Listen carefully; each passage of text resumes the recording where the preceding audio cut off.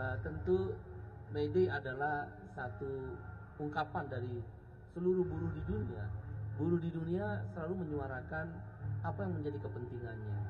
Nah, pada kali ini May Day di Indonesia mengangkat dua tema utama, yaitu cabut Omnibus Law Undang-Undang Cipta Kerja dan yang kedua adalah kami menyebutnya hostum.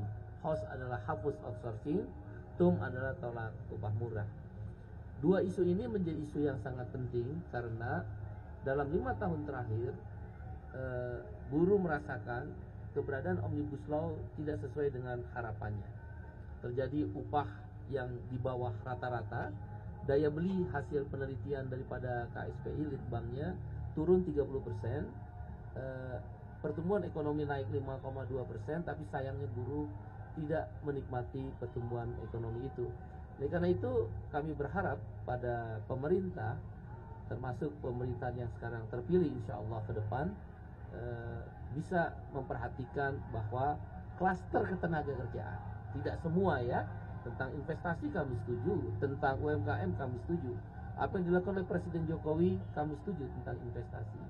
Oleh karena itu yang kami minta adalah tentang keseimbangan di mana hak-hak buruh kesejahteraan buruh tetap harus menjadi prioritas penyeimbang bagi pemerintah.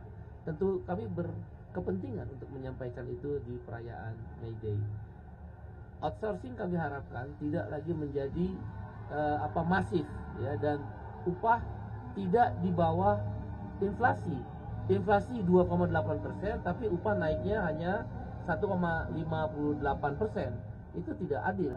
Oleh karena itu perlu ada keseimbangan.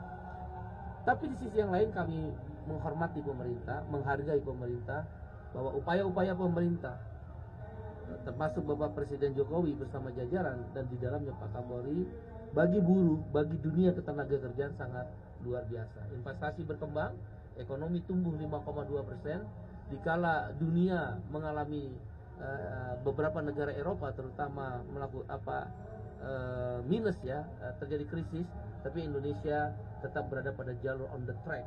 Kita hormati, kita hargai karena kita masih tetap bisa bekerja. Jadi apa pun yang kami sampaikan tadi tidak menghilangkan apa yang telah dikerjakan oleh pemerintah.